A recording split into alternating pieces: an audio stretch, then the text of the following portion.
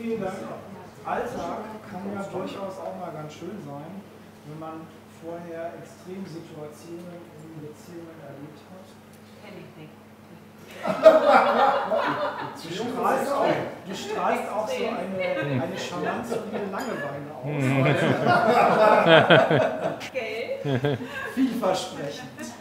So, und ich bin gespannt, was wir jetzt von dir hören werden, weil das, was du ja an ersten Eindrücken vermittelt hast, war ja alles andere als langweilig. okay. Ja, vielen Dank. Also ich mal 1-0 Hausfrau. okay. Ja, jetzt seid ihr bestimmt gespannt, wie es weitergeht nach dem ersten Date und dann gucken wir mal.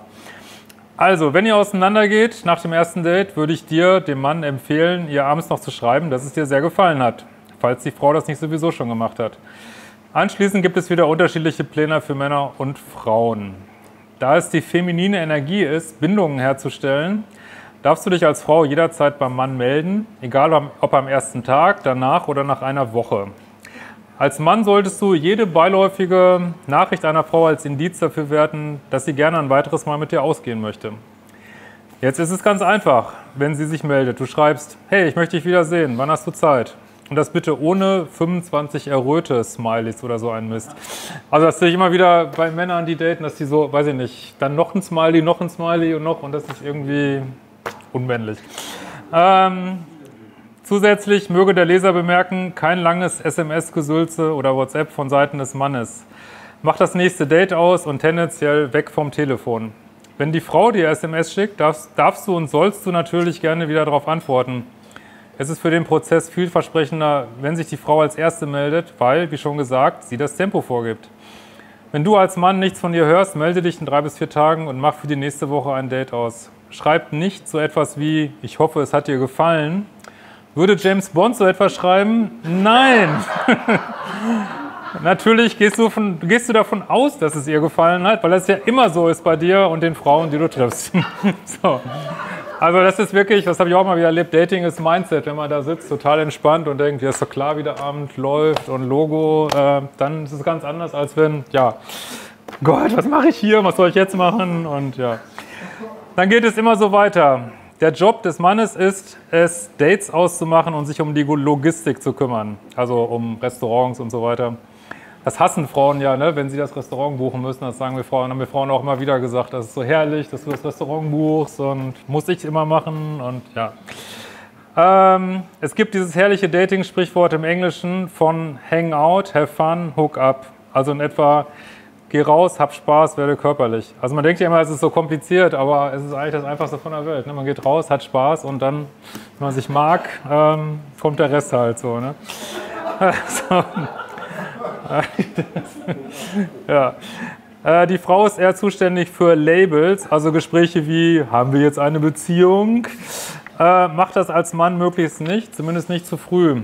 Rede als Mann in den ersten 60 Tagen eher wenig von deiner Zukunft mit der Frau, sonst hast du rasch gar keine mehr. Ähm, Wenn du zulässt, dass die Frau sich meldet, wirst du merken, dass die Abstände kürzer werden. Das Interesse der Frau steigt und sie will dich immer öfter sehen. Wenn du es so gestaltest, geht es nach dem Tempo der Frau, die sich meistens etwas mehr Zeit nimmt mit ihren Emotionen.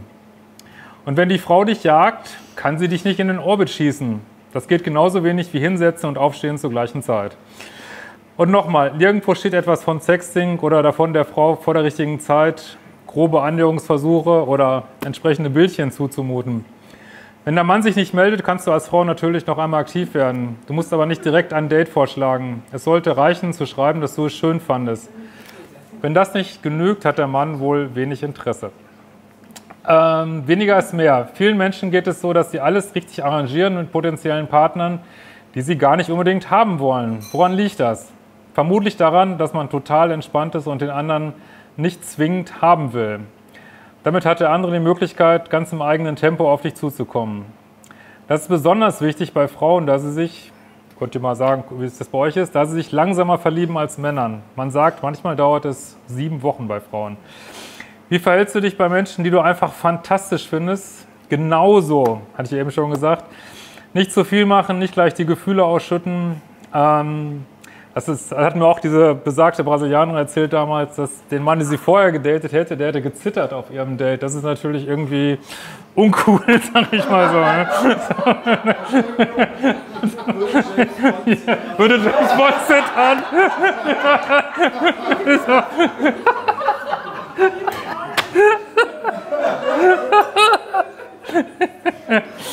ja. Äh, nicht zu viel machen. Nicht, ja, genau. Nicht gleich die Gefühle ausschütten.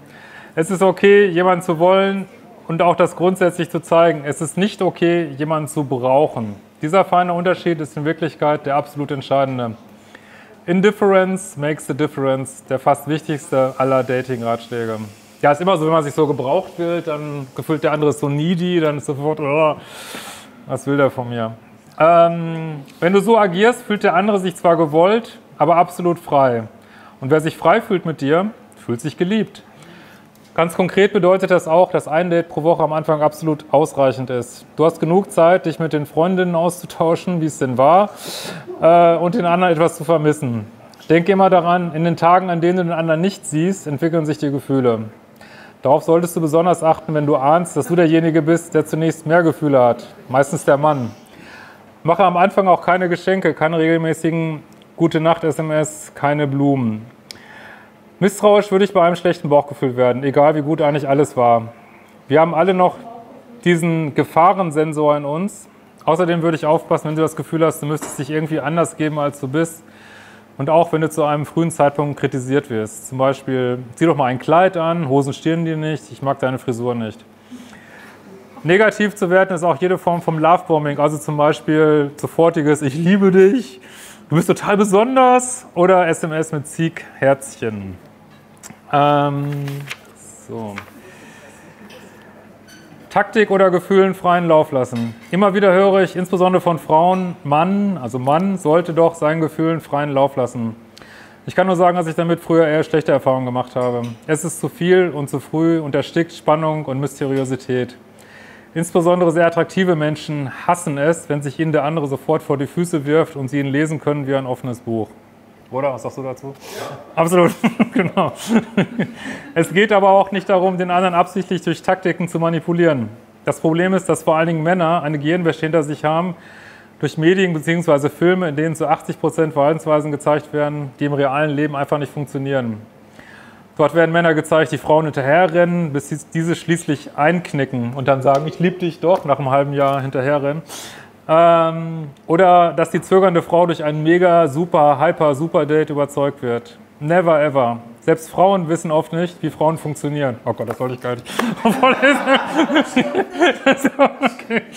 das hätte ich, hätte ich rausstreichen sollen. Äh, sie sagen manchmal, dass sie sich einen romantischen Mann wünschen, der ihnen Liebesbriefe schreibt. Den Kopf verdrehen tut ihnen aber der coole Surfer, der sein Ding macht und den sie einfach nicht eingeschätzt und eingefangen bekommen ja? ein Kitesurfer vielleicht. genau. ähm. Ich kenne das von mir auch. Eine Frau, die einfach alles macht, was man von ihr will, ist nur kurzfristig interessant. Es fehlt der Widerstand des Erobern. Wenn ich sie aber toll finde, ist es extrem gut für die Anziehung, wenn sie ein bisschen laid back ist. Das funktioniert selbst, wenn ich weiß, dass es so funktioniert. Insofern kann ich nur mal wieder sagen, probier die Dinge in diesem Buch aus, auch wenn du nicht dran glaubst und schau selber. Sie sind keine Taktik, sie führen einfach dazu, dass du dich wieder normal benimmst. Ich habe das mit vielen Paaren diskutiert. Was hilft es, eine Verhaltensweise zu zeigen, zum Beispiel immer wieder seine Schwächen mit dem Partner zu besprechen, wenn das zu sinkender Attraktivität führt? Überlege immer, was das Ziel ist. Willst du einen Partner, der immer etwas verliebt bleibt oder eine Therapeutin in deinem Bett haben?